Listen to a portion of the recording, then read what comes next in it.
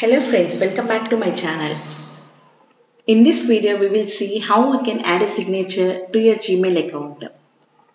It will only take a few moments. Here, I am in my Gmail email account to add a signature. First of all, click on Settings gear.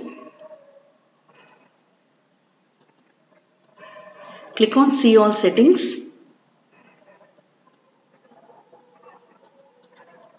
Now scroll down until you find the option Signature.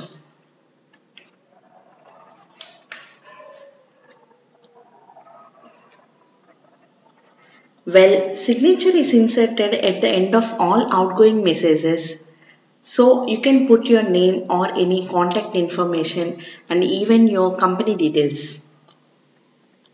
So create new and enter a name for your signature. Now start typing your name and any professional title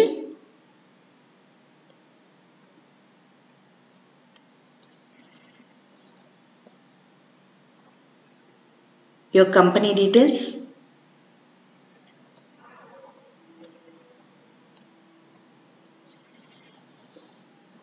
and you can add your image by clicking here.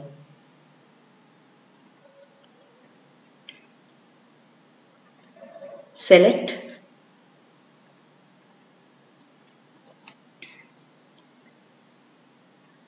Now you can change the font and font size and you can customize anything as per your requirement.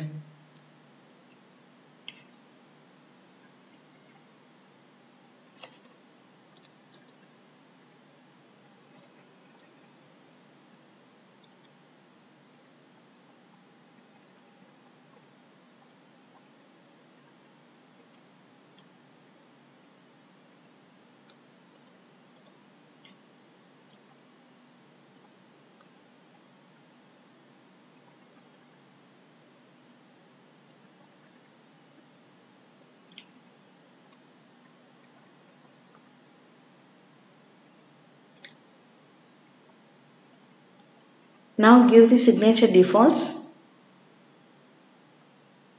Give the signature name.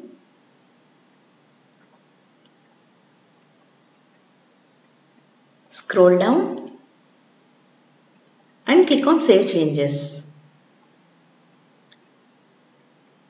Now we'll see how it works.